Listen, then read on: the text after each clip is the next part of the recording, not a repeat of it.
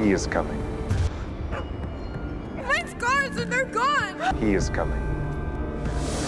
Hello, people of Antioch. Well, Most of you are here because of some of the signs, wonders Ana de Rugadilla, no. Ana de Nikita Rugadilla. that have been going on around town. And you want some answers. You look like Jesus? I can see. Well, you've come to the right place. Jesus died 2,000 years ago, nailed to a cross. Where are your scars, Brandon?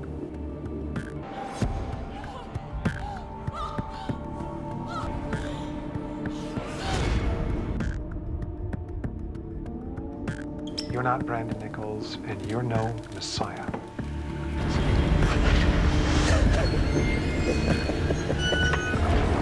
Jesus said, Come out of the man, you unclean spirit.